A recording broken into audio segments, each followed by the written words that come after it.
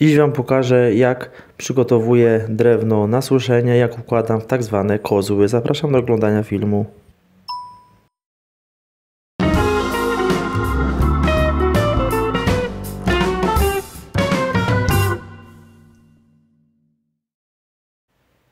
Cześć, witajcie na kanale Bufor i Drewno. Dzisiaj bardzo ciekawy odcinek, y, jak należy prawidłowo układać drewno do suszenia. Układam je w takie oto kozły, jak możecie zobaczyć na filmie. To jest patent mojego teścia, który tutaj też mi parę takich sztuczek pokazał, jak należy właśnie odpowiednio układać, czyli krzyżować drewno na rogach, Również należy odpowiednio układać do strony południowej, najlepiej, żeby te słońce jak najlepiej operowało. Oczywiście w pierwszych miesiącach, kiedy te drewno jest świeże, nie przykrywam go żadną folią, czy od deszczu, czy jakichś innych elementów. Natomiast już w późniejszym okresie jest oczywiście przykrywane. Przykrywane jest zabezpieczane, gdyby ewentualnie były jakieś wiatry.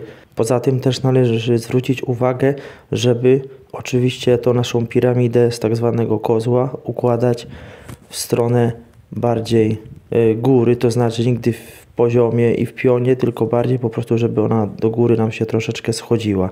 Teraz będzie pytanie do Was, słuchajcie, co zrobić z takimi resztkami, jak tu widzicie na yy, właśnie tutaj pocięciu drewna. Takie grubsze kawałki oczywiście suszę i to idzie na rozpałkę. A coś takiego, co z tym wykorzystujecie? Czy to wykorzystujecie do kompostownika, czy może bardziej y, korzystacie i gdzieś to jest tam wywożone y, pod kwiaty? Bardzo byłbym ciekawy, jaka będzie opinia y, w Waszej sprawie. Tutaj w tym roku już więcej drewna nie będziemy robić, także teraz schnie. Jeden kozioł będzie na jesieni wniesiony, natomiast jeden pewnie zostanie na zimę. E, tutaj i dopiero w następnym sezonie będzie gdzieś tam schowany w inne miejsce, bo tego drewna też jest zawsze na zapas. Zawsze staramy się, żeby te drewno było przynajmniej e, dwa lata do przodu e, cięte. Możecie właśnie zobaczyć jeszcze te rogi, jak one tutaj zostały wyprowadzone. Tutaj mój teść bardzo lubi takie rzeczy układać w kozły, także tutaj już jest jego praca. Ja też tutaj tak samo bardzo dużo robiłem.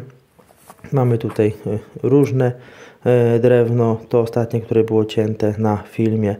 Również tutaj przycinaliśmy wierzby, bo też co 5, co 10 lat przycinamy gałęzie i te wierzby też odrastają, bo inaczej pewnie by po prostu się rozwarstwiły, bo też to są już stare drzewa. Także praca na wiosnę cały czas idzie. Niedługo święta to będzie trochę przerwy, ale jeszcze pewnie, na pewno jakieś wywroty będą w lesie poprzez cały sezon i będziemy na pewno tutaj coś jeszcze robić.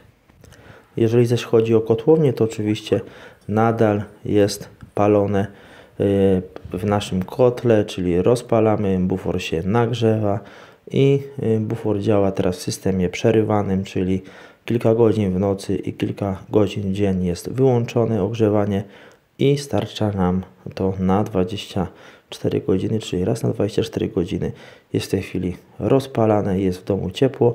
Tak samo tu też nam bardzo dobrze działa nasze urządzenie związane z ciepłą wodą użytkową, które podgrzewa za pomocą paneli fotowoltaicznych i też już ta temperatura jest konkretna. Niedługo wrzucę filmik z podsumowania marca, pokażę Wam ile prądu zostało wyprodukowane z tej instalacji. Jest to naprawdę bardzo malutka mikroinstalacja.